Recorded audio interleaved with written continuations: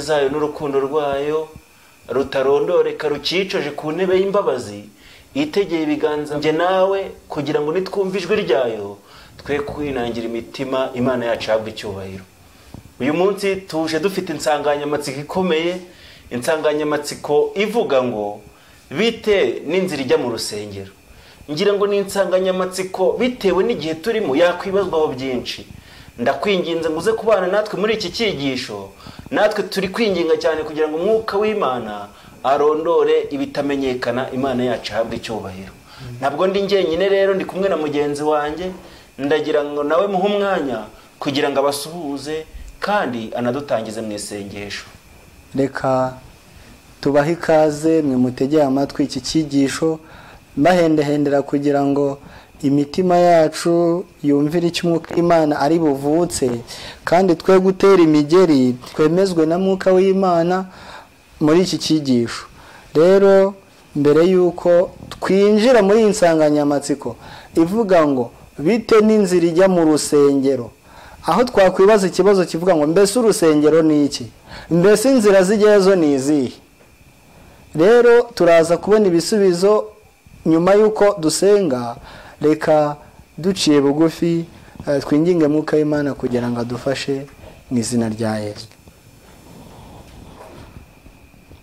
Data mwiza urakoze cyane kubw'umwanya mwiza wongeye kutugenera. Turinginze kugira ngo uhembure imitima yacu kandi ari twe n'abateze amatwi udufashirize hamwe kugira ngo ubwo ugiye kuza vuba twibanire aho uri kandi uduhe ibyiringiro bishikamye mu kuri kwawe muri iyi minsi kugira ngo turinde kunyeganyezwa n'ibitero by'umwanzi. Kandi niduhagarara mu ruhande rwawe rw'ukuri tuzashima urukundo rwawe. Turakuraritse kugira ngo ubane natwe muri iki cyigisho kandi ukiyobore ufashe imitima yacu tubigusabye ku bwa Yesu umwami wacu. Amina turacyakomeje gushima imana. Kandi tubararikira kubana natwe muri iki cyigisho nk'uko gifite insanganyamatsiko ikomeye ivuga ngo bite n'inzira ijya mu rusengero. Eh, ngira ngo rero umuvandimwe wacu agiye kubivugaho byinshi reka eh, tubirebe mu buryo ari butuyobore muri iki cyigisho imana iduhana umugisha. Amen. Eh, nk'uko rero tumaze kubibona inzira ijya mu rusengero ni insanganyamatsiko iteye amatsiko cyane bitewe n'igihe duhagazemo muri iyi minsi. Rero tugiye kubanza turebe ese ubundi urusengero ni iki?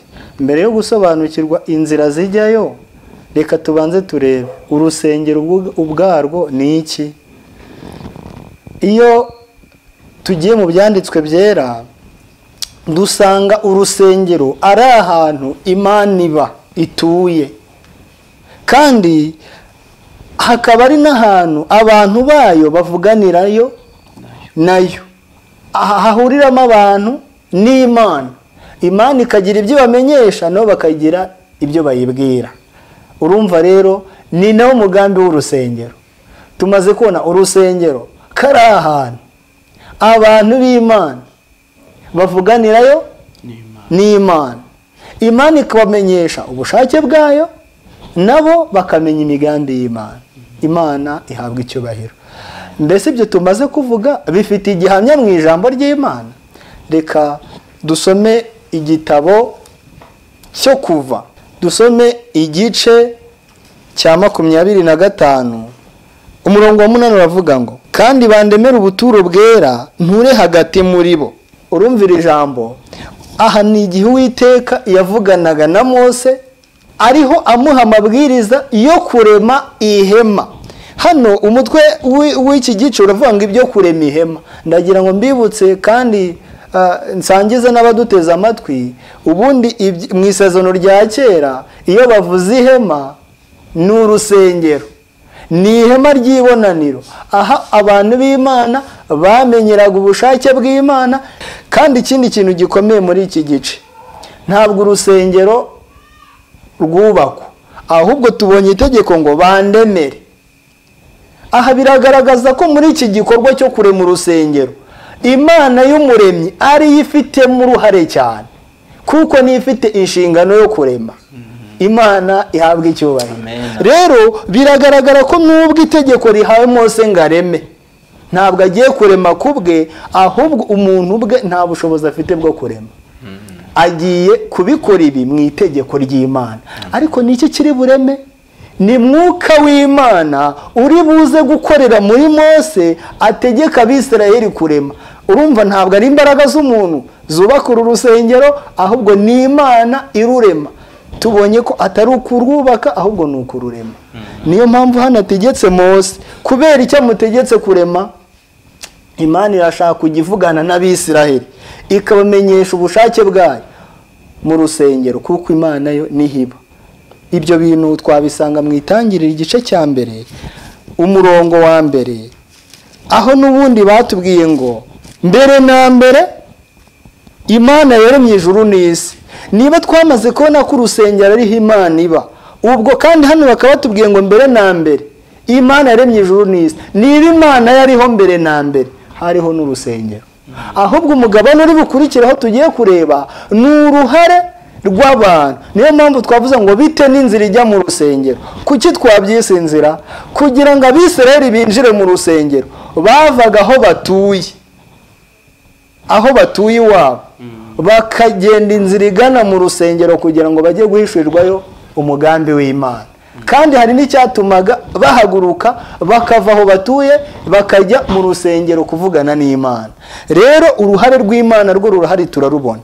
Ahubwo imirongo ikurikiyeho iratwereka noneho nyirizina icyo umuntu ikireba umuntu. Kuko turagisoma ku murongo wa kabiri avuga ngo isi yari itagira ishusho yariho ubusa umwijima wari hejuru y'umuhengeri maze umwuka w'imana yagendagendaga hejuru y'iki? Hejuru y'amazi. Hano batubwiye ikintu gikomeye ngo isi yari itagira iki? Umwijima wari hejuru y'umuhengeri. Bisobanuye ko umuntu iyo bundi hano bavuze isi baba bavuze umuntu. Kuko impamvu isi iriho ni uko ituyeho iki? Umuntu. Rero ntabwo ikibazo ari isi ahubwo tugiye kureba uyituyeho. Kuko ni we ugiye guhamagarirwa kwinjira hehe? Muri uru rusengero. Niyo mpamvu rero hano bavuga ngo isi yari itagira ishusho. Mu yandi magambo mbese isi yagira ishusho nta n'umuntu uhari?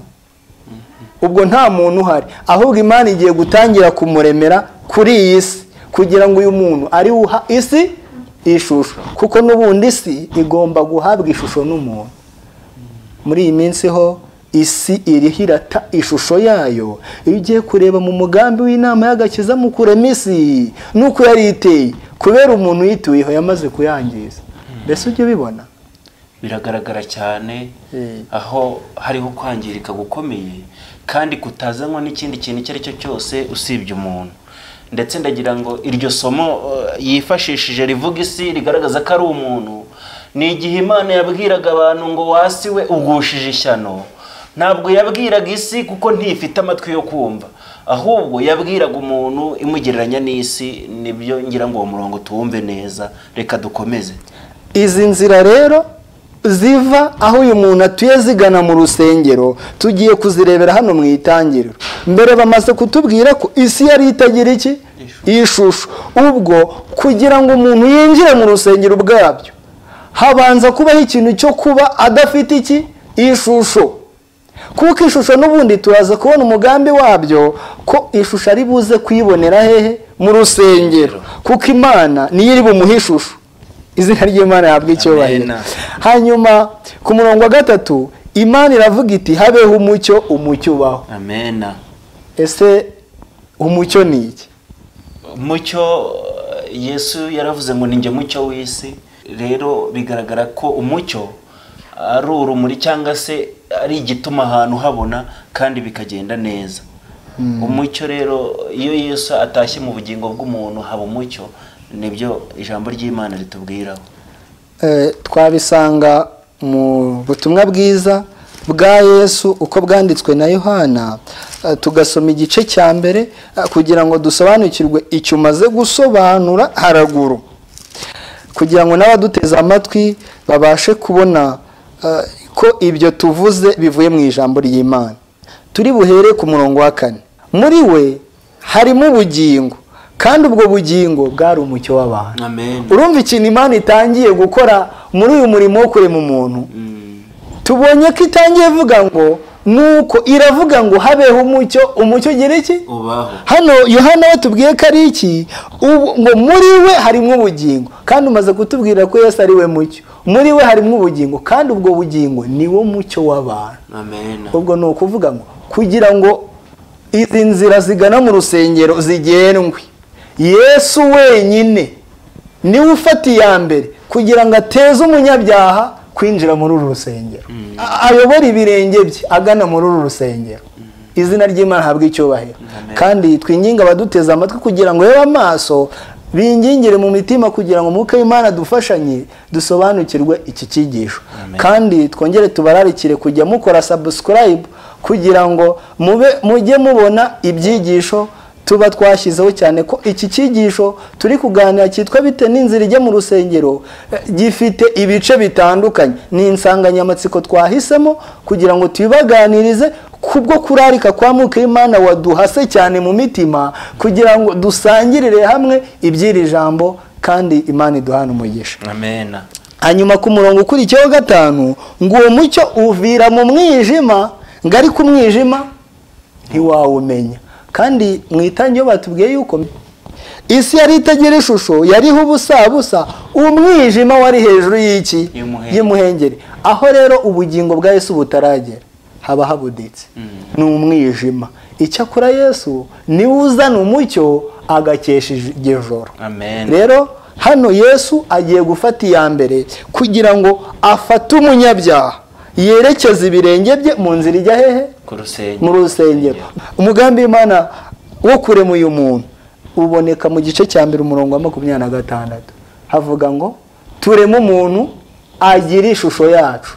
Urumva hariya ku gice cya mbere umurongo wa mbere isi nta shusho yari ifite. bigeze ku murongo wa makumyabiri na gatandatu. Bagiye kutubwira noneho ko imana igiye kurema umuntu mu ishusho? Yayo. Aniswe umuntu. Mbese ubundi umuntu ni iki? Ibyanditswe byera bidusobanurira icyo umuntu ari cyo. Reka na cyo tugisome hano ku ipaji ya gatatu ya bibiliya yera. Hasi muri ya magambo aba ari hasi mu busobanuro hasi. Banditseho ko umuntu bisobanuye adamu Mm. adamu ni we muntu kandi adamu avuye mu biganza by'imana. Izina ry'imana ntabwo icyubahiro. Kubera ko adamu rero afite ubugingo yiswe iki? Kandi ubugingo afite ni mwuka w'imana uri muri we. Kandi uyu mwuka w'imana uba muri we ni yesu. Kuko hari yigeze avuga ati ijambo mbabwiye ni iryo mwuka kandi naryo bugingo. Nusoma mu gitabo cy'imigani. Uraza gusanga yesu yaravuze ngo igihe data yaremaga nari kumwe nawe ndi umukozi w'umuhanga. Urumva rero ni we uri muri adamu. Mm. uyu muntu yagiye kubona ishusho. Ishusho iri buboneke biturutse he? Muri yesu. Umuntu rero bavandimwe udafite yesu nta shusho afite. Watubwira ibimenyetso? Byahamya umuntu udafite ishusho. Warumbajije muvandimwe ngo ese eh, umuntu utagira ishusho arangwa n'iki? Umuntu utagira ishusho ndagira ngo mbahe ikigereranyo mbere yo gusobanura umuntu utagira ishusho. Buriya amazi amazi ntabwo agira ishusho nk'uko twabyize mu ishuri. Iyo uyashyize mu kajerekani k'umuhondo na yo ahinduka umuhondo wayashyira mu kirahure cy'umweru ukabona ni umweru wayashyira mu kirahure cy'irindi bara nabwo ukabona yahinduye ibara. Nyamara yo afata ishusho y'ikintu arimo. Umunyabyaha nawe rero ni uko ameze aho ageze hose yisanisha n'ubwo buzima. Agera mu banywi akanywa yagera mu banyamagambo akavuga ndetse yagera no mu bantu bari kuvuga iby'imana na byo akavuga. Ibiganiro bipfuye ibyo bintu byose bimusangamo kuko ntagira ishusho nyine. Nyine umunyabyaha utagira ishusho mbese ni wa wundi utaba mu rusengero ahaba umucyo kuko atinya kujya mu mucyo ngo ibyo akora bitamenyekana yego urakoze cyane imana iduhana umugisha. Turaza kugenda tuyibona mu cyigisho uko turi bugende dukurikirana.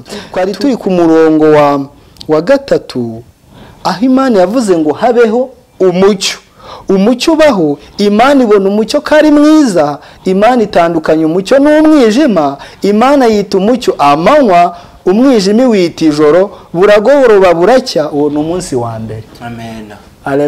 Amena umva imana yatangiye umurimo wo kurema. Umunsi wa mbere urarangiye ku munsi wa mbere ikintu tubonye kiremwe ni iki? Ni umucyo. Ariko noneho kugira ngo iyo mirimo ikomeze birasaba ko bwira kugira ngo noneho bwongere buke imana ireme ku munsi wa kangahe? Wa kabiri. wa kabiri. Uyu ni umurimo wo kurema. Nk'uko n'ubundi yabwiye mose ngo bandemere ubuturo bwera. Ntabwo babwubatse umunsi umwe. Imana ize kudufasha. Kugira ngo dusobanukirwe iki cyigisho. Iyo umuntu amaze kwakira yesu mu mutima we binyuze mu kwemezwa na mwuka w'imana akamuhishurira ibyaha bye nawe akabyemera nk'uko yabyemejwe akizinukwa akaturira imbere y'imana yisaba imbabazi iramubabarira akakira yesu nk'umwami n'umukiza we bwite. Icyo gihe ni umunsi wa mbere. Kandi aba abonye umucyo kuko eh, kugira ngo umuntu yizere amasezerano y'imana byanze bikunze yongera guhishurirwa iby'isomo rivuga ngo imana yatanze umwana wayo kugira ngo umwizera wese atarimbuka ahubwo ahabwe ubugingo buhoraho. Bityo kugira ngo habeho guhabwa uwo mucyo ni uko umuntu yongera gusobanukirwa icyo ibyaha bye byakoze kuri yesu akamenya ko yesu yapfuye mu cyimbo cye bityo mu kwizera icyo gitambo ni ho hari imbaraga yongera guhamagara umuntu muri iryo rarika ry'imbabazi imana yacu ihabwa icyubahiro. Reka rero dukomeze tureba iyi nsanganyamatsiko tuyibibutse ko ari insanganyamatsiko ivuga ngo bite n'inzira ijya mu rusengero. Reka mwene data akomeze atwereka eh, twari turi kureba mu itangiriro turacyakomeje kurebamo. Twari dushoje umunsi wa mbere. Mm, tuzarebera hamwe n'umunsi wa kabiri. Turebere hamwe n'umunsi wa gatatu. Umunsi wa kane uwa gatanu uwa gatandatu. Tugere no ku munsi wa karindwi. Cyane ko iki cyigisho turakibararikiye bene data ku munsi wa karindwi hari ikintu gikomeye kiba. Nibwo urusengero rwuzura. Imana ihabwa icyubahiro. Urusengero rwuzura ku munsi wa kangahe? Wa karindwi. iminsi itandatu ibanza. Imana yakoze umurimo wo kurema. Ku munsi wa karindwi. Mbese mu rusengero ikindi kihakorerwamo ni iki? Kugira ngo tuze kurebera hamwe ku munsi wa karindwi icyo imana yakoze kuri uwo munsi. Urusengero rumaze kuzura. Kuko yari imaze no kurema umuntu. Yakoze iki? Yararuhutse hareruya amen. Tubibutse ko rero mu rusengero ni ahantu baruhukira. Mm, ubwo rero udafite urusengero nta n'uburuhukira afite. Mm, ibi bintu mwuka y'imana dufashe kugira ngo tuze kubyumva. Kubera ko rero iki cyigisho gifite ah, ibice byinshi reka umunsi wa kabiri tuzawureba n'umunsi wa gatatu tuwurebe ahubwo tuhite twihuta ku murongo wa makumyabiri na gatandatu. Kuko turi kwiga icyigisho kivuga ngo bite n'inzira ijya mu rusengero. Yatangiye atagira ishusho ariko habonetse umucyo ku murongo wa makumyabiri na gatandatu. Imana iravuga iti tureme umuntu agira ishusho yacu ase natwe. Batwara amafi yo mu nyanja n'inyoni n'ibisiga byo mu kirere n'amatungo n'isi yose n'igikururuka hasi cyose. Imana irema umuntu agira ishusho yayo izina ry'imana ntabwo icyubahiro. Amaze kugira ishusho yayo afite ishusho y'imana niko yamuremye umugabo n'umugore niko yabaremye. Mu mugambi wo kurema kw'imana irema umuntu ishaka ko umuntu agira ishusho yayo. Hano turi gusoma umuntu wa mbere ari we adamu imana yaremye. Ariko iyo usomye igice cya kabiri itangiro reka tuhasome ugasoma umurongo wa karindwi.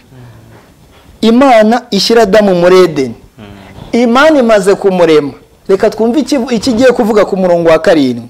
Uwiteka imana irema umuntu mu mukungugu wo hasi imuhumekera mu mazuru umwuka w'ubugingo. Ibikoresho imana yifashishije kugira ngo ireme umuntu ni umukungugu wo hasi.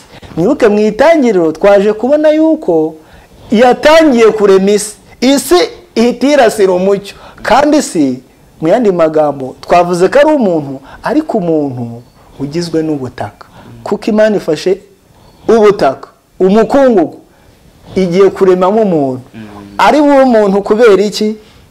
Kubera umwuka imana imushyizeho. Imana iguha amena hanyuma imaze kumekeramo mu mwuka w'ubugingo kandi umwuka w'ubugingo twaje kubona ko ari yesu kirisito umuntu ahinduka ubugingo buzima. Amena reka dusimbuke tugere ku murongo wa cumi n'icyenda.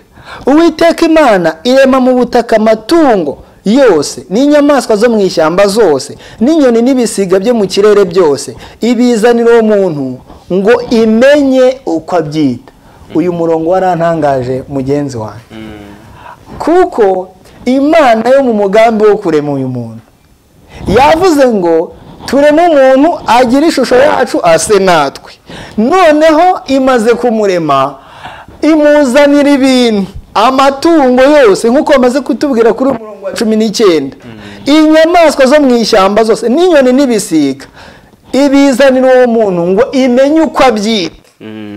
Aha ni ho imana igiye kugerageza wa muntu ngo imana irebe ko uyu muntu ari bubyite nk'uko imana yabyita. Kugira ngo umurimo wo kurema ube ugeze ku ntego. Kandi bigaragare ko koko afite imitekerereze nk'iy'imana mbese asa n'imana. Amina reka turebe ko ariko byagenze. De y'icyo y'uwo murongo ngo kandi uko uwo muntu yise ikintu cyose gifite ubugingo aba ari ryo riba izina ryacyo. Uwo muntu yita amatungo yose n'inyoni n'ibisiga byo mu kirere n'inyamaswa zo mu ishyamba zose ariko umufasha umukwiriye yari ataraboneka. Ikintu gikomeye kiri aha hantu. Igitabo umushakazi w'imana yanditse cyitwa kugana yesu. Banditse bavuga ngo mbere umuntu ataracumura. Ngo yahuzaga n'imana. Ah, ntabwo uyu mugambi wo kurema umuntu ufite ishusho y'imana wigeze uvaho. Niyo mpamvu twizera isezerano rya kera tukizera n'isezerano rishya. Isezerano rya kera ni igikorwa yesu yakoze ariko mu buryo bw'ubwiru bufifitse mu isezerano rishya yesu yaje gushyiraho kashe. Aleluya Amen. uyu munsi akaba ari umuremyi w'imitima mishya. Izina ry'imana rihabwa icyubahiro. Aho ahera ku busabusa ku muntu wavutse ari umunyabyaha agatangira kumurema akageza ubwo umuntu agira ishusho y'imana. Adamu yari afite ubutaraga bw'umubiri n'ubuziranenge bw'umutima. Ariko yesu w'icyakora ntabwo uku kuduha ishusho y'imana duhinduka iyi mibiri. Icyakora ku musozo tuzahindurwa. Iyi mibiri na yo izahindurwa. Ahubwo icyo yesu aza gukora muri iri sezano rishya turimo n'ikinyejana turimo ni ukurema imitima mishya. Kandi tugahinduka tugatekereza uko imana yakabaye itekereza turaza kubisoma imana ize kuduhana umugisha. Yego. Ndabararika cyane mbararikira kugira ngo ukeneye ibi byigisho wareba nimero zo hasi kandi ufite ikibazo nabwo wakwandika mu butumwa bugufi cyangwa se ugahamagara izo nimero ureba hasi imana iduhana umugisha. Amen. Eh, ikindi kintu eh, cyabayeho nyuma y'uko uyu muntu amaze kuremwa yari afite ubutungane kandi agahuza n'imana ariko imana yari yaramuhaye amabwiriza agomba kuzitondera kugira ngo ibyo bizamubungabunge. Hanyuma uyu muntu yaje kurenga uruzitiro arurenga biturutse ku mwanze satani ngo warushaga ubugome inyamaswa zo mu ishyamba zose. Uyu muntu yari yarahawe amabwiriza avuga ngo umunsi wakiriyeho no gupfa uzapfa. Reka mbabwire ikintu gikomeye cyane. N'abaduteze amatwi. Igihe umuntu adamu yarengaga ku mabwiriza y'imana ntabwo yigeze apfa urupfu rw'ibigaragara ariko yapfuye mu mutima.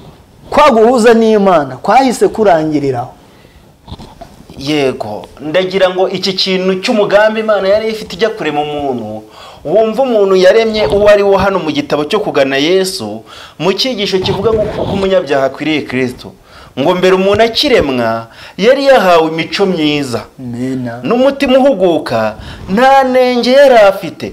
Kandi yashyiraga hamwe n'imana ibyo yatekerezaga byari imbonera kandi ibyo yari agamije byareraga. Murumva rero umugambi wo kurema umuntu ni ukurema umuntu ibyo agamije byera ibyo atekereza byera imigambi ye n'ibikorwa bye byose ari byiza. Niwo mugambi wari uwo kurema umuntu rero. Nk'uko tumaze kwivuga ndetse nk'uko mumaze kubidusangiza uyu muntu yari afite ubu butaraga. Ariko yaje kuva mu mahame y'imana aza gukora icyaha. Arenga ku ruzitiro. Niko rero guhita apfa. Nagira ngo mbibutse ikindi kintu ahangaha uyu muntu amaze kuremwa agahabwa ikiruhuko akajya aruhukana n'imana. Hari aho bahuriraga. Bahuriraga mu ngobyi edeni. Edeni na yo ubwayo ni urusengero.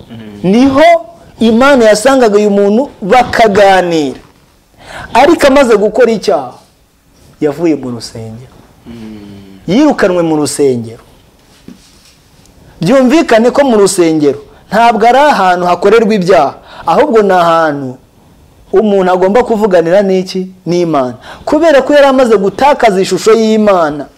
Kuko gukiranuka no gukiranirwa ni ibintu bidahura. Ntabwo imana rero yera. Yagomba gusabanira n'umunyabyaha wamaze kwandura mu mutima. Nicyo cyatumye itegeko imana yari yaratanze rimusohoraho acibwa muri edeni. Ajya hanze. Igihamya cy'uko ishusho y'imana imuvuyemo kubera ko ishusho y'imana izanwa n'umwuka w'imana. Ubwo mwuka w'imana amuvuyemo asigaye atagize iki? Atagifite ishusho. Atangira no kumva imana mu buryo butari bwo. Ije kumushaka yumva imirindi. Ingaruka z'uko mwuka w'imana yavuye mu muntu atangira kumvirana. Rero ahangaha igihamya cyahamirije adamu ko nawe atagihuza n'imana. Yatangiye kwihisha imana. Ariko reka dushime yesu utaretse umuntu atyo kuko natwe twari kuzabaho kandi natwe akaturarikira kuzara- kuzaraga ubwami bw'imana. Ni na yo mpamvu kubw'urukundo rwayo rwinshi yahereye ku busa irongera iraza ishaka adamu. Imana ihabwa icyubahiro. Maze itanga isezerano rikomeye cyane nkunda. Ari ryo zingiro rya bibiri umurongo utarimo. Bibiliya yaba ituzuye ku murongo wa cumi na gatanu w'igice cya gatatu. Imana iravuga ngo nzashyira urwangu hagati yawe n'uyu mugore no hagati y'urubyaro rwawe n'urwe. Ruzagukomeretsa umutwe nawe uzarukomeretsa agatsinsino umugambi w'urusengero n'ubundi ntiwavuyeho. Imana mu mbabazi zayo yongeye gusezeranira na adamu kubwo bucuti yagiranye na satani. Imana igomba gushyira hagati ye na satani urwango. Ngo satani amaze kumvira itangazo yahinze umushyitsi. Umujakazi w'imana nawe ahita yanditse mu gitabo cy'intambara ikomeye ku ipaje magana magana atatu na mirongo itandatu cyitwa ngo urwango hagati eh, y'umuntu na satani. Baranditse ngo umuntu amaze gucumura yasigaye ahuza na satani ijana ku ijana. Ngo yari yiteguye gusohoza. Iby'imigambi ya satani. Ariko ngo kubwira isezerano uwo muntu yongeye gusezeranirwa ko ashobora kongera gucika satani agasubira mu rusengero. Reka dushime ko imana n'ubundi yaturinganirije urusengero. Ari na yo mpamvu turi kwiga icyigisho kivuga ngo bite n'inzira zijya mu rusengero. Ugeze hehe uganayo? Kubera ko yesu yaje kudushaka. Kandi ashaka kuduteza intambwe zo kugana mu ki? Mu rusengero rw'imana. Imana ibishimirwe kandi twibuka ko umwuka w'ubuhanuzi utubwira neza ko igihe imana yari imaze kubona intama izimiye ngo iyo ntama yagereranywaga n'iyi si yacu. Yego. ngo hari izindi si nyinshi zitacumuye. Eh, bityo rero imana yemeye kureka izo zindi atari uko iziretse ahubwo iza kureba ya yindi yazimiye ariyo isi yacu dutuyeho igereranywa n'iyo ntama kugira ngo yongere gusubizwa mu rwuri. Urakoze cyane. Uru rusengero ruracyahari. Kuko umwuka w'imana yagendaga mu bakurambere bacu akabahumekeramo umwuka we kugira ngo bahanurire abantu iby'ubushake bw'imana. Nicyo gitumye tugiye gusoma amagambo ari mu gitabo cya zekariya umwuka w'imana yaramugendereye. Ahanura n'ubundi ibyo kuza kuri uru rusengero mu gice cya gatandatu tugiye gusoma umurongo wa cumi na kabiri turaza kuhasanga iby'isezerano n'ubundi ry'urusengero kandi iri sezerano rikaba rivuye ku witeka amen. Reka dusome. Umubwire uti uwiteka nyiringabo aravuze ati dore umuntu witwa shami uzumbura azamera ahantu he. Kandi ni we uzu- uzubaka urusengero rw'uwiteka imana ihabwa icyubahiro dusomere n'uwa cumi na gatatu. Uwa cumi na gatatu ni koko ni we uzubaka urusengero rw'uwiteka azagira icyubahiro azicara ku ntebe y'ubwami ategeke. Kandi azaba umutambyi ku ntebe ye imana yacu ahabwa icyubahiro. Bombi bazahuza inama zizana amahoro. Mbega isezerano ryiza. Aya masezerano ndayakunda. Nshimye imana cyane. Hano ngo binyuze muri shami shami ni kirisito kubw'uko umuntu yari amaze kuva mu biganza by'imana. Atagihuza na yo. Hano umwuka w'imana agenderera zekariya. Uwiteka atanze amasezerano ko hazaza shami. Akazaba ari we uzongera guhagurutsa uru rusengero. Izina ry'imana rihabwa icyubahiro. Niyo mpamvu yongeye guhamya ngo uwo ni we uzarwubaka. Yesu afite ubushobozi bwo kongera kugarura mu muntu umusabano. Akagirana umushyikirano nijoro kandi agahishurirwa inzira y'imana. Ariko hari ikintu kibabaje cyane. Ubutumwa bwiza bwa yohani igice cya gatanu umurongo wa mirongo itatu na gatanu. Ngo yari itabaza ryaka rimurika. Nk'uko twabonye ko ari umucyo w'isi. Namwe mwamaze igihe gito mwishimira umucyo we. Ariko mfite ibimpamya biruta ibya yohana kuko imirimo data yampaye ngo nyisohoze iyo mirimo nkora ari impamya ubwayo y'uko data ari we wantumye. N'ubundi hano agaragaje ko bamaze igihe gito bizera umucyo we. Nk'uko twabonye ko umucyo wabayeho ku munsi wa mbere. Ariko haracyari urugendo rwo kugana mu rusengero. Cyumvikane neza. Haracyari urugendo rwo kugana hehe mu rusengero ngo bamaze igihe gito bizera uwo mucyo. Ngo ariko afite ibimuhamya biruta ibya yohana. Hari ikintu gikomeye eh, ngira ngo eh, turarikira abadukurikiye kugisesengura nk'uko imana bafashe kugira ngo tugisangirire hamwe tucyumve neza. Kandi data wantumye nawe yahamije ibyanjye ubwe. Ntimwigeze kumva ijwi rye habe no kubona ishusho ye. Umva ikintu gikomeye. Arimo aravugana n'abantu bakiriye umucyo. Ariko kubera ko inzira igikomeje umunsi wa mbere wabonetse ariko inzira irakomeje. Arimo aravugana n'abantu bamukurikiye bari kumwe nawe. Ariko arababwiye ngo ntimwigeze kumva ijwi rye? Habe no kubona ishusho ye. Bigaragare ko ku munsi wa mbere umuntu atumva ijwi ry'imana. Ishusho iyo abona umucyo ukamurikira ugatandukanya umwijima nijoro ariko nta jwi ry'imana ryumvikana. Yewe n'ishusho y'imana. Wayibonye ku murongo wa makumyabiri na gatandatu. Kari bwo imana igambiriye kurema ishusho y'imana muri uyu muntu. Kandi ibi bivuze ku munsi uheruka umunsi wa gatandatu. Nibwo imana igambiriye kuvuga ngo tureme umuntu agira ishusho yacu.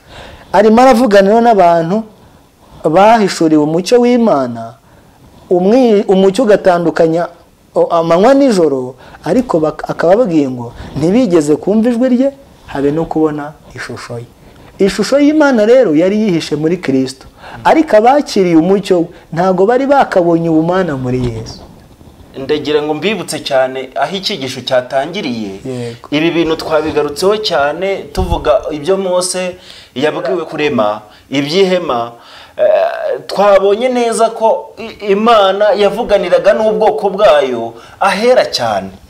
Kandi ndagira ngo mbibutse umucyo w'imana imana w'imana urasira umunyabyaha ni ku gicaniro cy'ibitambo. Hahandi umunyabyaha yiyu- yiyungiraga n'imana. Aha hantu ni ho haboneka umucyo ni bwo umucyo w'agatangaza usaba mu mutima w'umuntu noneho akaririmba iby'umunezero n'amahoro kubera ko yababariwe ibyaha. Ariko hirya mu cyumba cy'ahera cyane muri urwo rusengero ni ho imana kuri ya ntebe y'ihongerero yavuganiraga n'abantu yavuganiraga na mose. Bityo rero ijwi ry'imana batumvise bajyaga gukomeza kugenda mu rusengero kugeza ubwo bageze aho imana ivuganira n'abantu. Kandi ni naho ishusho y'imana yari iri. Urakoze cyane. Unyibukije ikintu. Igihe abisiraheli babaga bari hanze y'ubuturo bwera. Imana ikavugana na mose. Mose we yumvaga ijwi ry'imana. Ndetse hari n'igihe yigeze avuga ngo mana umishurire ubwiza bwawe. Imana iramubwira tumva ndahaza turi bubonane imbona nkubone Um- umushakazi w'imana yanditse mu gitabo cy'abakurambere ngo mose ngo yavuganye n'imana ngo nk'uko umuntu avugana n'inshuti ye. Barebana bahanganye amaso ku maso. Noneho abisiraheli bumvaga iryo jwi ry'imana nk'inkuba. Ijwi ry'imana ku muntu utari mu rusengero utari aho hantu umaze kudusobanura hahandi yamubwiye ngo ni ho nzajya mvuganira nawe. Yumva ijwi ry'imana nk'inkuba. Eh, kubera ko ntabwo bo bari ba- bemerewe kugera muri icyo cyumba cya gatatu mose ni we wahageraga. Rero bo ntabwo bumvaga ijwi ry'imana. Habe no kubona ishusho ye ni cyo cyabateraga kurema ibigirwamana. Buriya mose ntabwo yagombaga kurema ikigirwamana. Kuko yari azi imana yo mu ijuru umuremyi w'imitima mishya akaba umuremyi w'isi n'ijuru. Ariko kubera ikibazo cy'abantu batazi ijwi ry'imana ntibamenye ishusho yayo. Bibatera kurema ibimasa bakabisenga.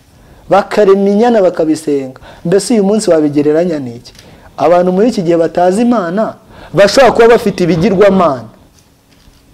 Twagereranya n'ibyo abiseri bageragezaga kurema eh, mu- izahabu ariko bakabicura mu buryo eh, bw'ibimasa n'ibindi bishushanyo eh, by'ibigaragara. Ndagira ngo nsubize icyo kibazo. Mbabwire ko nanone umugambi w'imana ni uwo kurema umuntu kugira ngo imujyane mu rusengero. Ngira ngo adamu yaremwe kugira ngo ajyanwe mu rusengero.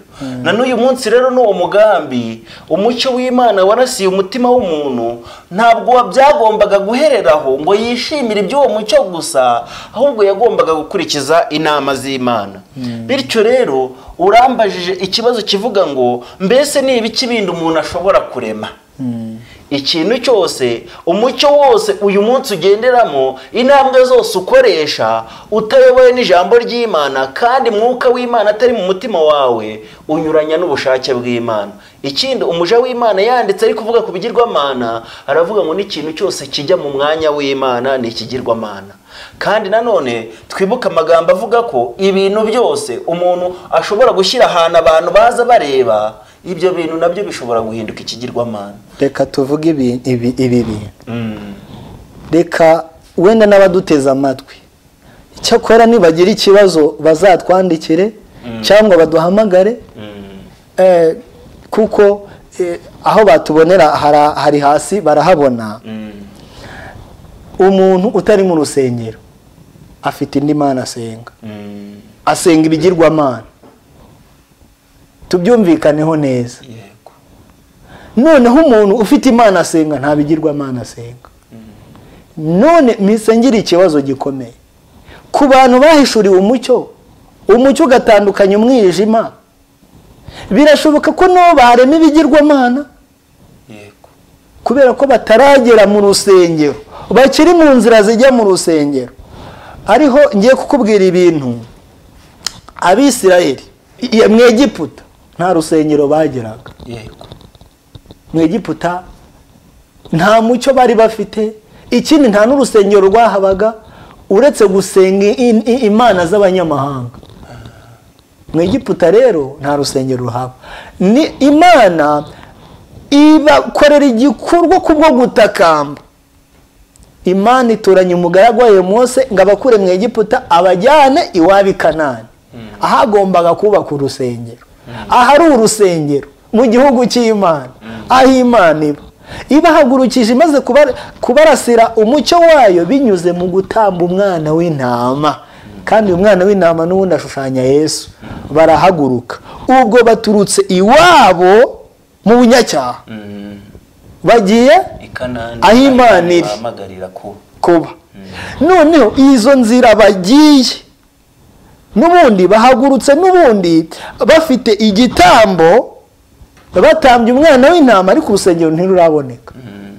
Ibi bintu tubyumvikaneho kugira ngo ahari tubashe gusobanukirwa impamvu ya cya kibazo naje kukubaza ngo mbese umuntu ashobora kurema imana? Muri iki gihe yagira imana nk'ikimenyetso cy'uko adafite urusengero bageze mu butayu. Mbese baremye imana? Baraziremye pe. Igihamya cy'uko batari bakumvise ijwi ry'imana habe no kubona ishusho yayo. Rero ibi ni ibihamya bigaragaza ko nubwo imana yari batangije urugendo rwo kuva mu egiputa ntibagombaga gutuza bataragera mu rusengero. Mbese mwene data niyo mushiki wanjye uru rugendo ruva mu egiputa rugana mu rusengero urugeze he? Mbese ko umugambi w'imana twaje kubona mu gice cya mbere kitangira umurongo wa makumyabiri na gatandatu ngo tureme umuntu agira ishusho yacu se natwe kandi twabonye igihe umuntu agira ishusho y'imana. Ni uko asigara atekereza akagambirira. Nk'uko imana igize iki? Yabikora. Yabikora. Kuko ni ho yagejeje umurimo wo kurema adamu. Ni naho igomba kugeza umurimo wo kurema adamu wa kabiri binyuze muri yesu. Amena izina ry'imana rihabwa icyubahiro. Yego. Turacyashima imana cyane ku bw'iki cyigisho eh, twinginga mwuka w'imana kugira ngo akore ku mitima yacu. Ndagira ngo rero dukomeje gukurikira insanganyamatsiko ivuga ngo bite n'inzira ijya mu rusengero. Mwene data mushiki wanjye niba hari umucyo wakurasiye ntabwo ibyo byagombaga gutuma imitima yacu ihagarara ntabwo urugendo rwari rurangiriye aho. Icyakora hari abantu rwarangiriye muri egiputa igihe baryaga umwana w'intama ntibaveyo hari n'abantu bavuyeyo ariko ntibarenga ubutayu. Ariko si umugambi w'imana. Umugambi w'imana ni uko umuntu yongera agasubizwa ubwiza agasubira kuri gatanga ka mbere agasubira uko imana yari yaremye umuntu imana yacu ahabwa icyubahiro. Turacyakomeje rero n'iyi nsanganyamatsiko tureba mbese umuntu imana yari yaremye. Turabona yari afite ubwenge. Yari afite ubwenge bwo kwita amazina inyamaswa imana yaremye kandi akazita nk'uko imana na yo ubwayo yari kuzita. Yavuga ati nanjye niko najyaga kubitekereza nanjye niko najyaga kubikora. Biragaragara ko yakoraga bihwanye n'ubushake bw'imana. Ah, ubutumwa bwiza bwa yesu uko bwanditswe na yohana turasoma igice cya kabiri. Noneho duhere ku murongo wa cumi na gatatu mbanza mvuge cyane iby'uru rusengero ariko mu buryo bwo guhusha intego. Tumaze kubona umugambi w'urusengero. Nk'uko twamaze kubisoma mu mu- mu- mu nyandiko twasomye mbere. Ariko tugiye kureba. Muri uyu mugambi satani umwanzi w'imitima n'ubundi watumye urusengero rwa mbere rudahama. Ko n'ubundi muri uyu mugambi wo gukomeza kurema urusengero mu isezerano rishya aracyakora ubucakura nk'ubwa mbere. Iyo dusomye rero aho maze kubabwira umurongo wa cumi na gatatu igice cya kabiri baranditse ngo pasika y'abayuda yenda gusohora yesu agiye i yerusalemu. Aho i yerusalemu hari hubatswe urusengero rw'imana. Ariko ikintu ngiye kuvuga ni ikintu bita guhusha intego. Twasobanuye umugambi w'urusengero n'igitumye ruhari n'akamaro karwo. Ariko kubwo guhusha intego satani yahise ajyana abantu mu murongo wo kureba urusengero gusa. Ibyo rushushanya n'umugambi warwo mbese ni nk'uko bagukura mu mutima bakagukuramo ibihaha bakagukuramo igifu bakakureka. Bagasigara bavuga ngo uriya ni umuntu uriya ni umuntu. Nyamara ibigize umuntu atabifite. Atabifite. Mbega ingorane. Icyo ni cyo satani yakoreye abantu kandi no muri iyi minsi aracyagikora. Aho abantu basigara ni ikintu gipfuye wanyibutsa itorero ryo mu- byahishuwe ryabwiwe ngo wibwira ko uriho ariko ukaba uri intumbi ni itorero ry'isarudi riboneka mu byahishuwe igice cya gatatu uko umurongo wa mbere wandikire marayika w'itorero ry'isarudi uti ufite imyuka irindwi y'imana n'inyenyeri irindwi aravuga aya magambo ati nzi imirimo yawe nuko ufite izina ry'uko uriho nyamara ukaba uri intumbi. Rero rino torero mu bigaragara rifite izina ry'uko ririho. Nyamara imana burya ireba ntabwo ireba nk'umuntu kubera ko twabonye ko umuntu amaze gucumura gahunda z'umuntu zose zatandukanye n'iz'imana. Bityo abantu iri torero yesu yitaga intumbi bashobora kuribona nk'itorero rizima. Nk'itorero ririho. Nk'itorero rikora kuko ntabwo ryari ryararekeye aho imirimo yaryo. Ariko yesu yarirebaga nk'intumbi. Yego. Tugaruke kuri rya somo ryacu. Dusome umurongo wa cumi na kane. I yerusalemu rero hari urusengero. Ageze mu rusengero abaha- abahatundira inka n'intama n'inuma n'abandi bicaye babuvunja ifeza. Abohekanya imigozi ayigira nk'ikiboko. Bose abirukana n'intama n'inka mu rusengero amena ifeza z'abaguraga inuma ati nimukureho bino mureke guhindura inzu ya data iguriro. Abigishwa be bibuka uko byanditswe ngo ishyaka ry'inzu yawe rirandya. Abayuda baramubaza bati ubwo ugize utyo? Watwereka kimenyetso ki? Yesu arabasubiza ati nimusenyure urusengero nanjye nzarwubaka mu minsi itatu. Nuko abayuda bati uru rusengero ko rwubatswe mu myaka mirongo ine n'itandatu nawe ngo uzarwubaka mu minsi itatu. Ariko urusengero yavugaga ni umubiri we. Nuko azuwe abigishwa bibuka yuko yabivuze bemera ibyanditswe na rya jambo yesu yari yaravuze. Nuko ubwo yari i yerusalemu mu minsi mikuru ya pasika abantu benshi babonye ibimenyetso akora bizera izina rye. Umurongo wa makumyabiri na kane. Ariko yesu ntiyabiringira kuko yari azi abantu bose. Ntiyagombaga kubwirwa iby'abantu kuko ubwe yari azi ibibarimo ibi bintu tumaze gusoma. Ni abantu bari bafite urusengero. Ariko bari barahushije intego. Kuko twabonye ko mu rusengero ari aho imana iba hari n'ibikoresho bibamo. Ariko iyo dusomye aha ngaha dusanzemo ko hari harimo inuma. Bahagurira. Urumva ku izina ni urusengero. Ariko kubera ko ikintu gihabwa agaciro bitewe n'iki kirimo ryabaye isoko. Ndagira ngo mbibutse aka kantu kugira ngo mwumve iyi mfashanyigisho. Tujya tubona ahantu bavuga ngo ubukwe burabera mu nzu barakirira abantu mu rugo rushya. Nyamara ugasanga iyo nzu imaze igihe kirekire ariko bitewe n'uko yatashywemo n'abageni bashyashya.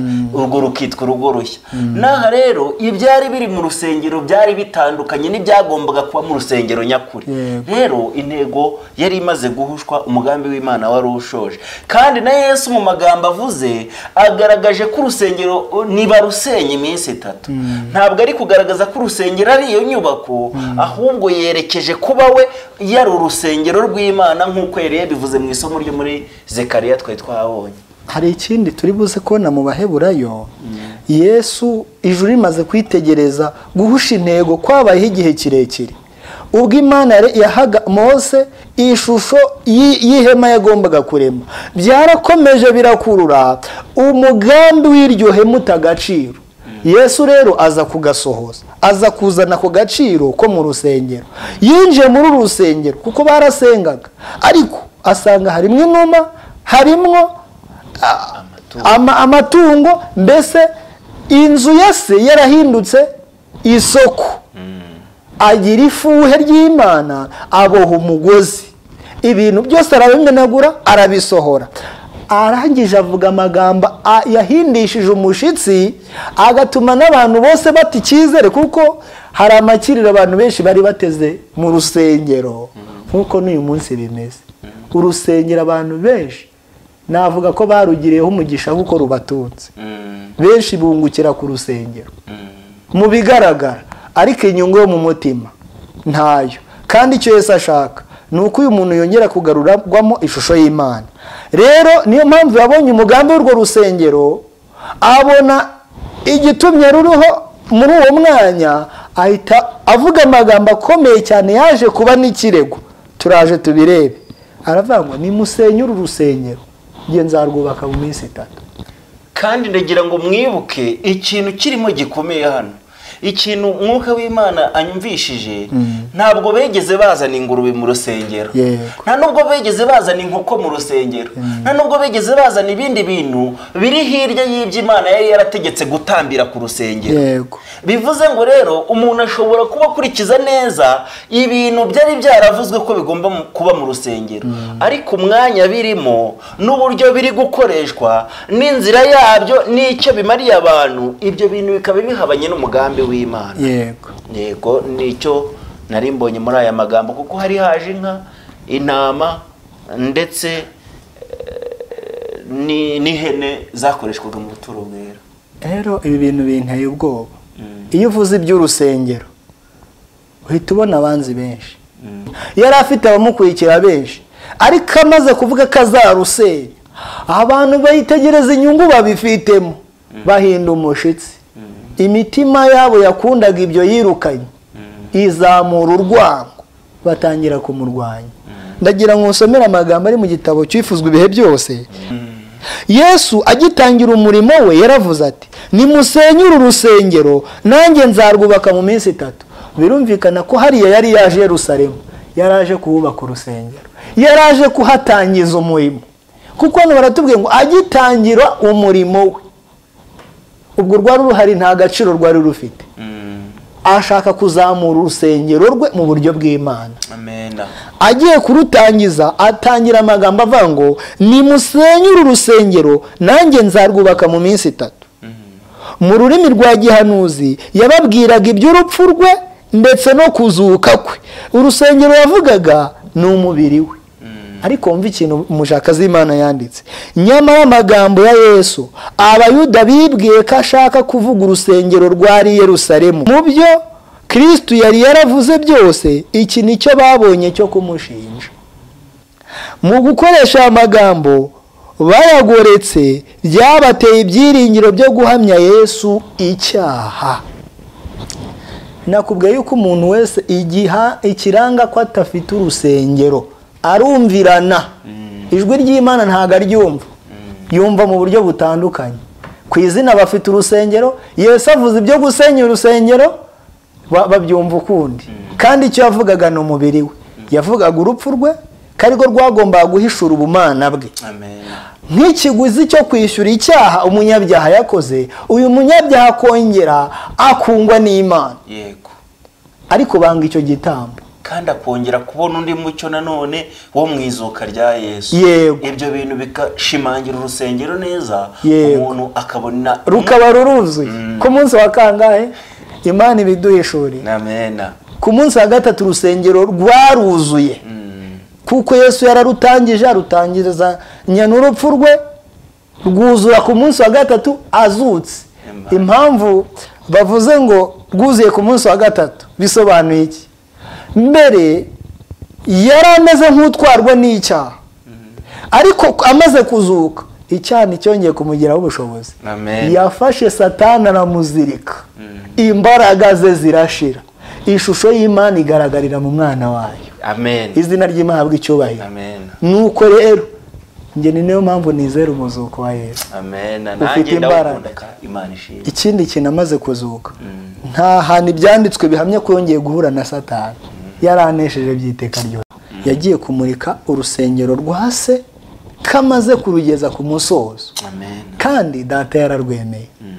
Rero ibi bintu tubyumve neza kandi mwuka y'imana adufashe tumaze kubona ikintu bamureze n'uyu munsi abantu bafite ikintu kimeze nk'ishusho y'urusengero rw'ibigaragara. Ariko icyo umugambi w'urusengero n'impamvu ruriho. Cyamaze kwimurwa niyo mpamvu abantu bazareba inyubako nk'uko byagendekeye ab'i Yerusalemu. Yesu ariho ajya i Yerusalemu akarira. Ikindi n'abigishwa bamuratira imyubakire. Birangira ababwiye ngo nimurebe uru rusengero. Nta buye rizasigara ryeretse he? Rero bavandimwe ntabwo umugambi w'icyigisho ari ukurwanya urusengero. Ahubwo umugambi w'icyigisho ni ukugaragaza urusengero dusoma mu byanditswe byera. Kugira ngo twirinde guhusha intego. Muri iyi minsi usanga abantu bari kurwana ishyaka ry'insengero. Nibyo koko? Ariko ntibite cyane ku mugambi w'urusengero. Rero iyo umuntu atiteye ku mugambi w'urusengero ntabwo amenya igihe yagenderewemo niyo mpamvu abantu bashobora kurwana ishyaka ry'urusengero nk'uko abatubanjirije barirwanye ariko imana itagikorana nabo ahubwo bakorana n'inuma inka n'ibindi twamaze kubona mu ijambo ry'imana. n'intama. rero igihe cyaranageze Yesu aravuga ngo dore mu rusigi we ari umusaka. rero bavandimwe turabararikira kumenya urusengero dusoma mu byanditswe byera. Kugira ngo abe arirwo twitaho kandi izi nzira zijyayo. Tuziharure. Twabonye zekariya avuga ngo shami ni we uzarutangiza mbese uwo murimo waratangiye mu mutima wawe? Mbese waba ugeze? Imana idufashe kugira ngo twinjire muri uru rusengero. Reka turebe ikindi abakurambere bacu bakoze bahusha intego. Iyo usomye abaroma hadushakira uhadufashe igice cya cumi.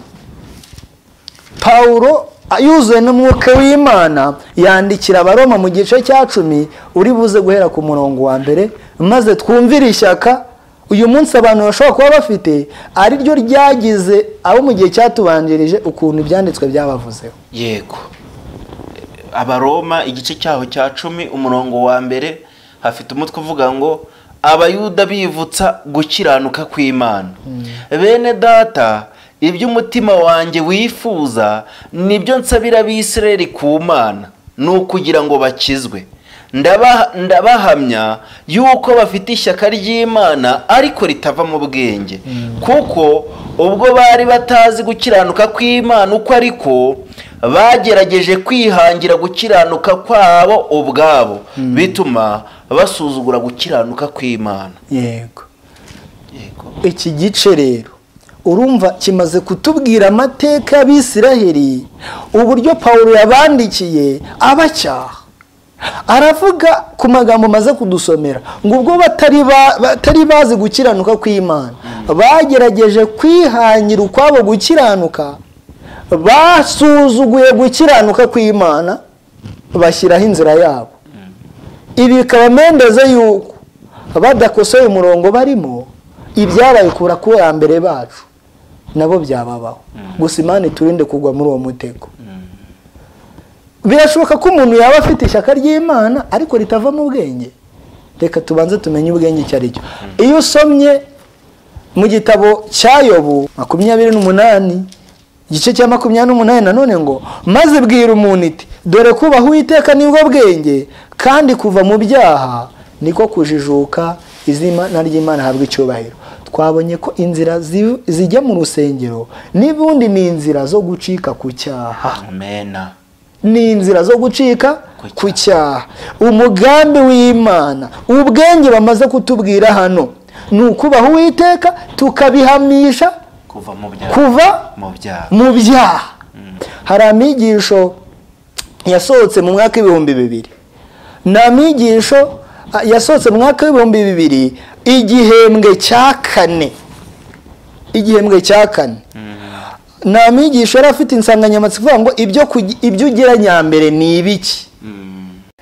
Banditse amagambo ari kuri paragarafe ya kabiri ngo muri iki gihe ubu burezi dufite mu ntekerezo buri ku rwego rugufi cyane. Dukeneye gutekereza mu buryo bwagutse dukwiye kugira intego ndende cyane. Uburezi nyabwo busaba ibirenze gukurikiza gahunda. Uburezi nyabwo. Busaba ibirenze imyiteguro yatuma tugira imibereho myiza muri ubu buzima. Ubwo burezi busaba iki? Baranditse hano baravuga ngo ubwo burezi busaba kuzirikana imibereho yose n'igihe cyose gishoboka umuntu azarama. Umuntu umwe w'umuhanga witwa william kopa yaravuze ati ibihe byinshi kujijuka no kugira ubwenge nyabwo aho guhwana usanga bihabanye niko yanditse. Baravuga bati mu gihe cyose kwiga kwacu kud- kudatumye dusabana na soko y'ubwenge bwose no gukiranuka. Mu gihe ataduhaye imbaraga zitubashisha gusa nawe kandi mu gihe tudahanze amaso yacu ku buzima buzira iherezo ngo tubone uko duha agaciro ibindi bintu byo ku isi. Byaba ari ubumenyi byaba ari ubuhanga n'ubwenge ntituzagera ku bwenge nyabwo. Kuko ibyo ubwabyo bitatugira abanyabwenge. Reka rero tumenye umugambi w'ubwenge. Ku ngingo ya mbere y'amigisho avuga ngo ubwenge ni iki? Baravuze ngo ubwenge ni ugutekereza no gukora. Nk'uko imana yatekereza kandi igakora igeze mu birushyi ibyo ari byo byose dusakirana na byo. Imana ihabwa icyubahiro. Uyu munsi imana iracyadufitiye uwo mugambi kugira ngo mu byo dusakira na byo byose tube twiteguye gukora nk'uko imana yakabaye ikora. Mu ngorane zacu zose. Yeah. muri ibi bihe rero turarikira abantu kugira ubwenge. Mm. kugira ngo ibi bintu biriho tube turi mu mwanya. Imana yakabaye irimo iramutse iri mu ruhande rwacu. Iramutse ariyo iri mu mwanya wacu. Dufashe udusomere amagambo ari mu gitabo cy'abakurambere n'abahanuzi kuri paje ijana na mirongo irindwi usome nk'ijana na mirongo irindwi n'imwe. Paje y'ijana na mirongo irindwi mu gitabo cy'abakurambere n'abahanuzi twumve icyo umujyanama yanditse. Intumwa yohana yeretswe urusengero rw'imana mu ijuru. Yabonye amatabaza arindwi y'umuriro yamurikiraga imbere y'iyo ntebe. Yabonye marayika afite icyotero cyacuzwe mu izahabu. Ahabwa imibavu myinshi ngo ayongere ku masengesho y'abera bose ayishyire ku gicaniro cy'izahabu kiri imbere ya ya ntebe.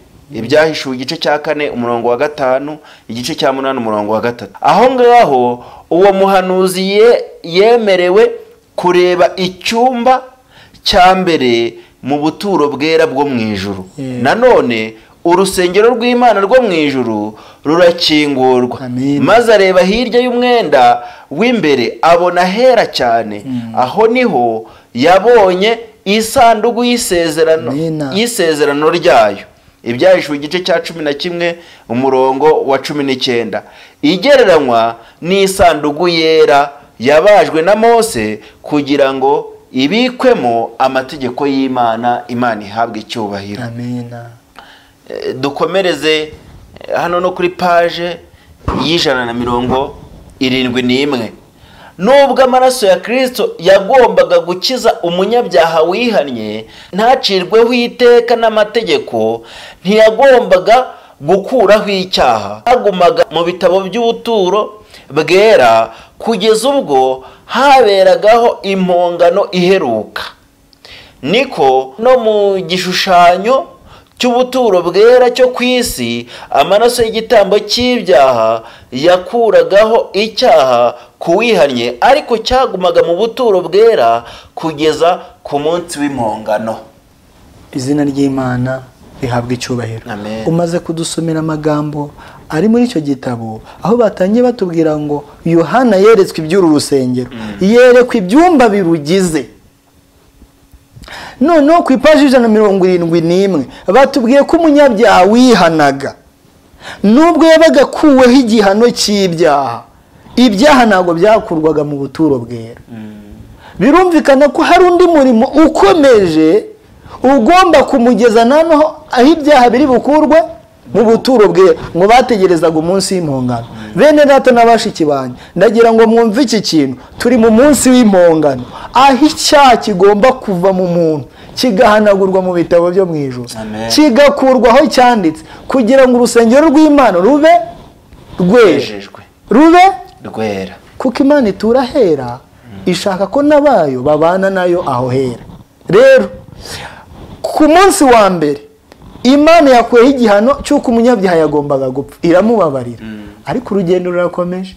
Kugeza igihe iri bukureho icyaha. Kandi ayo masezerano n'uyu munsi ariho. Reka dusome mu bahebore igice cya munani. Turebe iby'ayo masezerano. Uyu munsi mu isezerano rishya igice cya munani umurongo wa kane ni ho turi buhere mu gitabo cy'abaheburayo baranditse baravuga ngo iyaba yari mu isi ntababona uko abo mutambyi. Kuko hasanzwe abandi batambyi batura amaturo nk'uko bitegetswe n'amategeko. Kandi umurimo abo bakora ni igishushanyo n'igicucu cy'ibyo mu ijuru nk'uko Mose yabwiwe n'imana agiye kurema rya hema. Ngo gira umwete wo gukora byose ukurikije icyitegererezo werekeye kuri wa musozi. Ariko none umurimo yesu yahawe. Urusha uwabo kuba mwiza.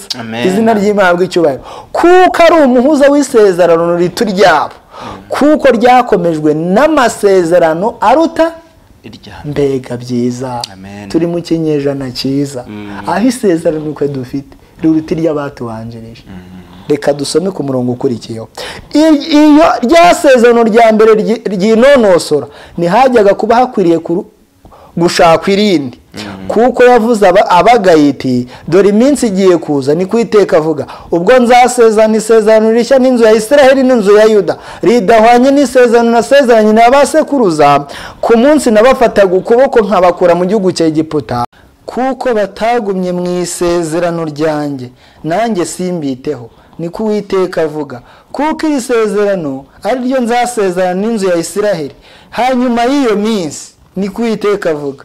Nzashyira amategeko yanjye mu bwenge bwabo nyandike mu mitima yabo.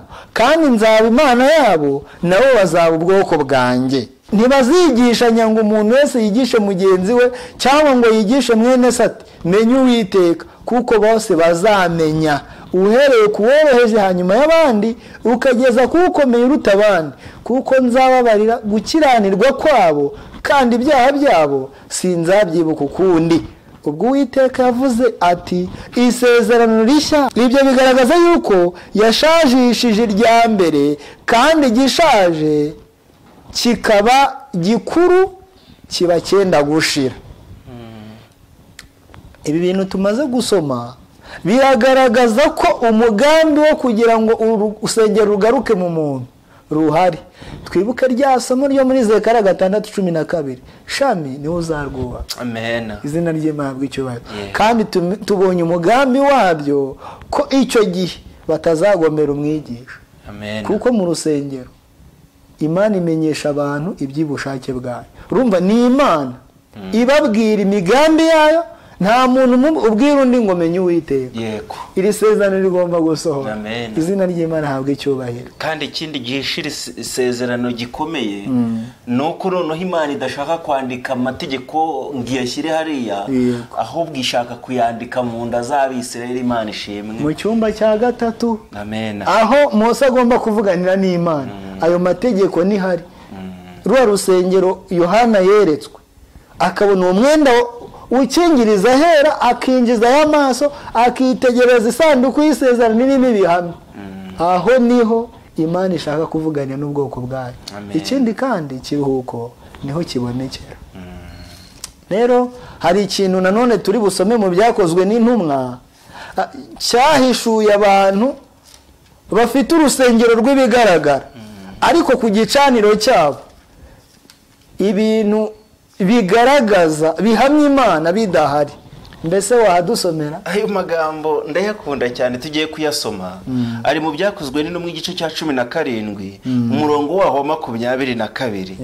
Haravuga ngo nuko pawulo ahagarara hagati ya areyopago aravuga ati abagabo b'abanyetenayi mbonye muri byose ko mukabije kwibanda ku by'idini mwibuke amagambo twasomye ngo abantu bafite ishyaka ry'imana ariko ritava mu bwenge. Aba bantu rero pawulo nawe yabwiraga yababwiraga ko bakomeje kwibanda mu by'idini. Ubwo nagendagendaga nitegereza ibyo musenga. Nasanze igicaniro cyanditsweho ngo icy'imana itamenywa ndagira ngo nshuti yanjye usome isomo cyangwa se uritekerezeho isomo riri mu rwa mbere rwa yohana. Naridusomera umuvandimwe mbere yo gukomeza uyu murongo.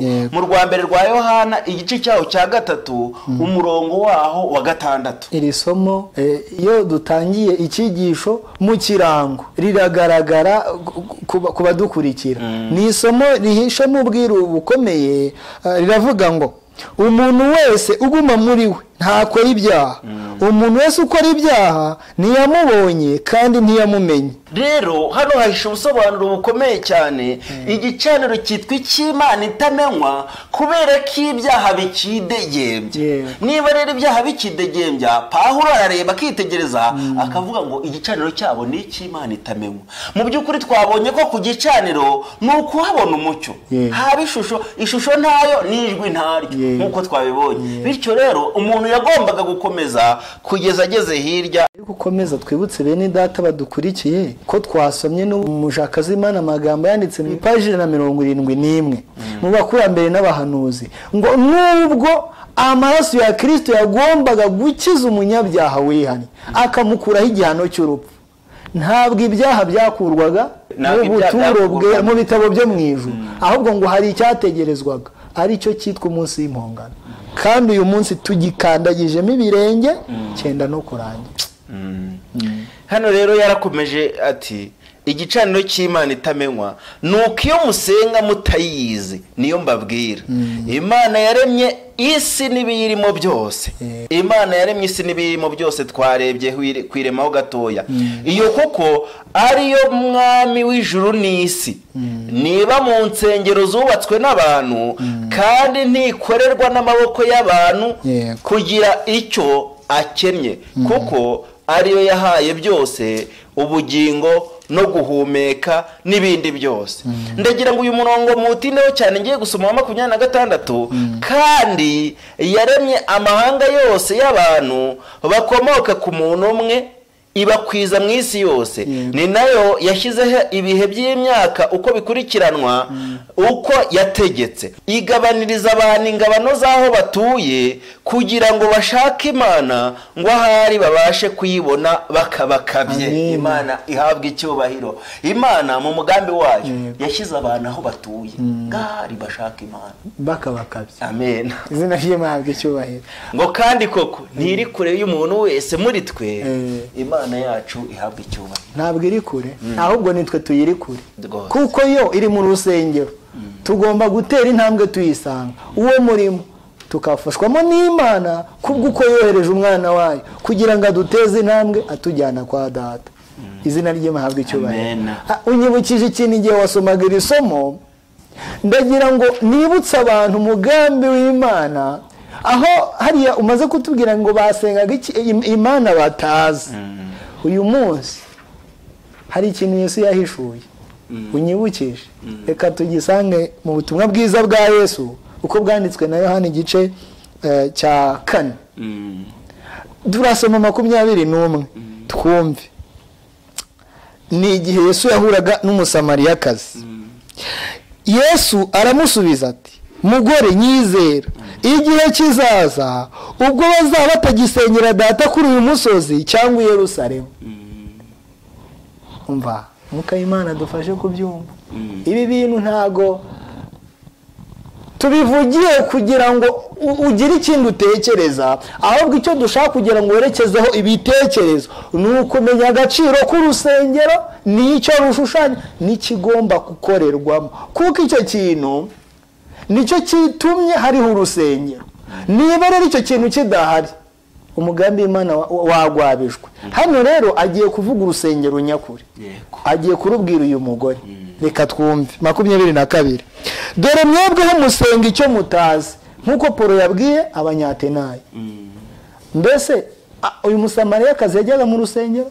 Yego. Bari bafite urusengero. Ariko ngo basenga icyo batazi. Ariko twebweho dusenga ibyo tuzi kuko agakiza kava mu bayuda. Ariko igihe kiraje ndetse kirasohoye ubwo abasenga by'ukuri basengera data mu mwuka no mu kuri kuko data ashaka ko bene abo ari bo bamusenga. Izina ry'imana habwa icyubahiro. Imana ni umwuka n'abayisenga bakwiriye kuyisengera mu mwuka no mu kuri. Uyu mwuka niwo yahumekeye adamu. Adamu ahinduka ubugingo buzima. Uyu munsi rero hari adamu wa kabiri. Wamwumvira ni yesu kirisito Ah, binyuze muri yesu. Mm. tugomba guhinduka abazima mu mana. Dufite ishusho y'imana. Umugabo n'umugore ikabarema. Kuko atari ko bimeze uriya murongo mu itangira igice cya mbere makumyabiri na gatandatu wavanwamo. Ariko uracyarimo kandi mu baheburayo batubwiye yuko yazanye isezerano riruta iryabo. Mm. Uyu munsi imana irashaka gutura mu bantu.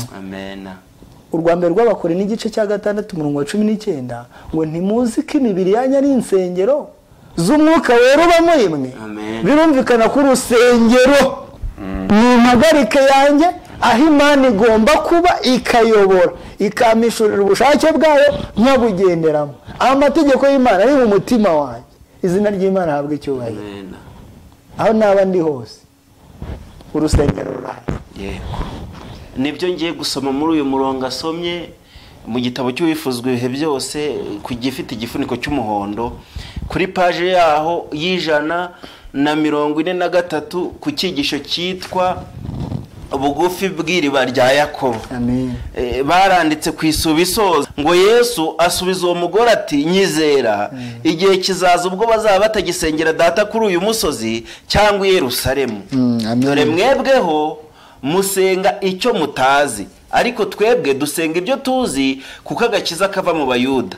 Yesu yeretse ko urwikekwe abasamariya bari bafite ntaho ahuriye narwo noneho ashaka gusenya igitekerezo uwo mugore yari afite ku bayuda.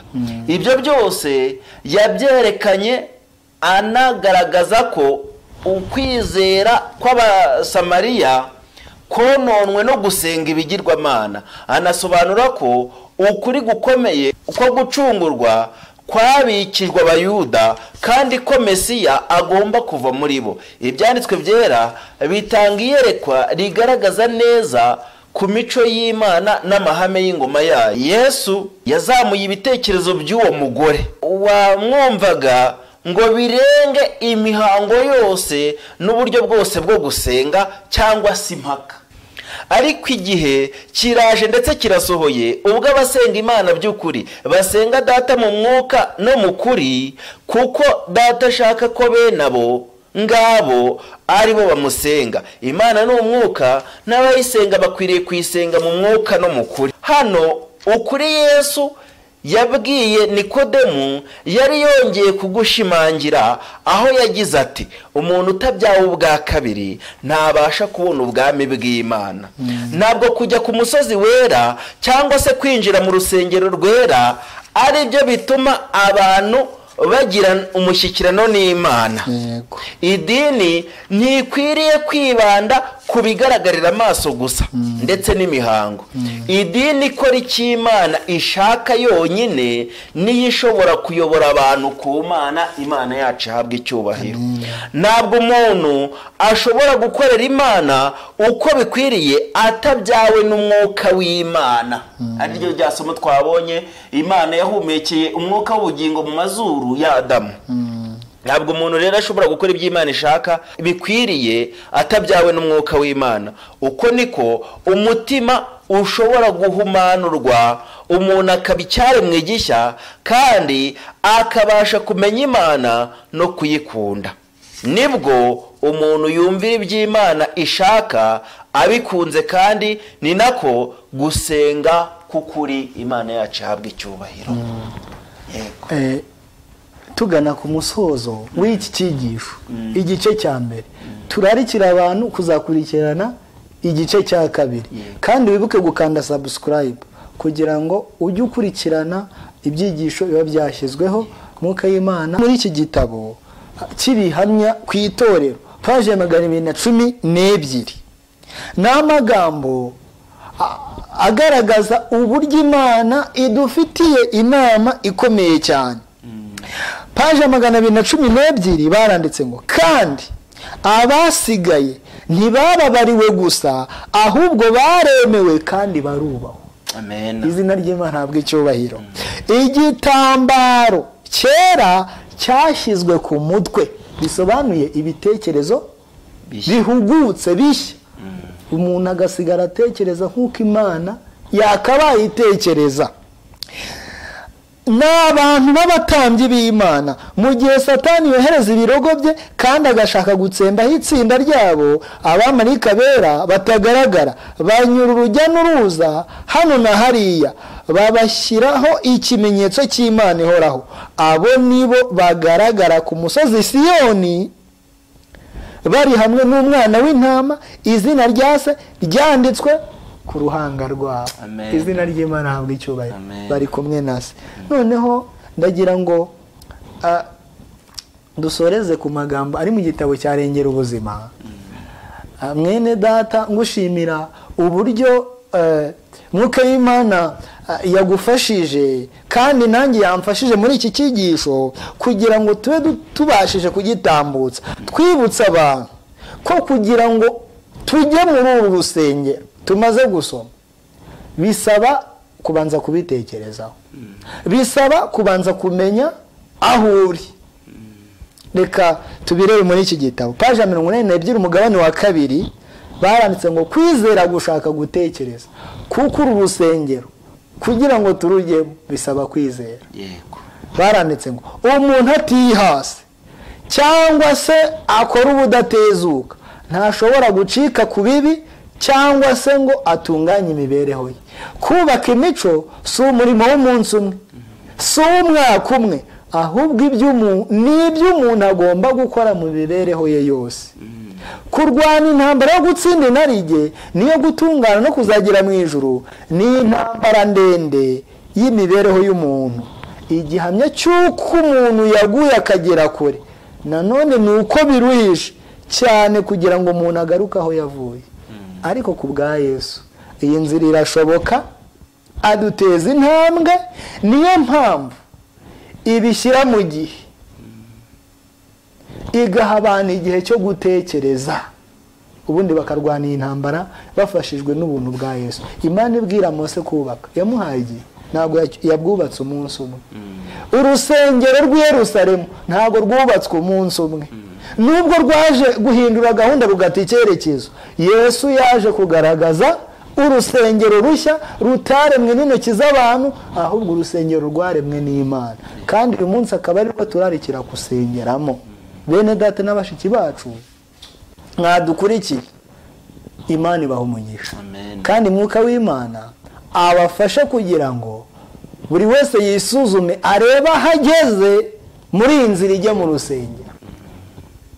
Ndagira ngo dusoza ugire icyo ubwira abadukurikiye kugira ngo ubahe ubutumwa. Kuri iki cyigisho tumaze gu- gu- gu- gu- gutambutsa. Ndagira ngo nshimire cyane mwene data uwo ari we wese wadukurikiye murarikira kugira ngo yinginge imana cyane ihishure inama y'agakiza yose atari uko ihishura intambwe runaka nk'uko yaguhishuriye intambwe zose ukomeze kuzigenderamo kandi wishyuze imana kuguhishurira izindi. Kandi tubonye ko itari kure y'umuntu wese nupfukama ukayibwira ikibazo cyangwa se ukayisaba kukumenyesha ikibazo ufite izakikumenyesha. Kandi ni na yo izakuyobora mu rugendo rwo gutera izindi ntambwe. Imana yacu ibane natwe. Kugira ngo buri muntu wese wagize wakozweho n'iki cyigisho imana imuyobore kuri ntama w'imana. Kuko ari we wamanitswe mu butayu ngo warumwe n'inzoka wese amurebeho. Kandi ibyiringiro byongera kugaruka iyo amaso yacu yerekejwe i karuvari reka dusoze no mu isengesho. Turagushimye mwami w'amahoro. Tugushimiye uburinzi watugaragarije uhabwe icyubahiro. Amena tugushimiye ko ari wowe washyize mu bitekerezo byacu iki cyigisho. Amena tunagushimiye ko ugihagarariye. Mm. turinginze cyane kugira ngo buri muntu wese umukomereze ku gufata imyanzuro. Buri muntu wese umwanzuro yafashe umuhagarare undi akwinginze. Imitima ikorweho nawe kugira ngo twitegure kuvanwa iyo hirya tujye mu nzu yawe tujye mu rusengero rwawe kugira ngo tubashe kumenya ubushake bwawe. Imitima yacu ikeneye cyane kumenya iby'inzira y'agakiza. Turaritse mwuka w'imana kugira ngo akomeze abane natwe. Kandi aduhishurire intambwe zose zatuma tuba mu rusengero rwawe tutarwitiranyije kandi tudahushije intego. Reka dukomeze kubana nawe kandi turakwiringiye kubera ko ari wowe watangije umurimo muri twebwe ni wowe uzanawusohoza. Ngaho komeza ukore imirimo mu mitima yacu kugeza utugejeje ku kuzura gutuma tutagikora ibyaha. Nibyo twifuza kandi twifuriza n'abatwumva mu izina rya yesu. Amena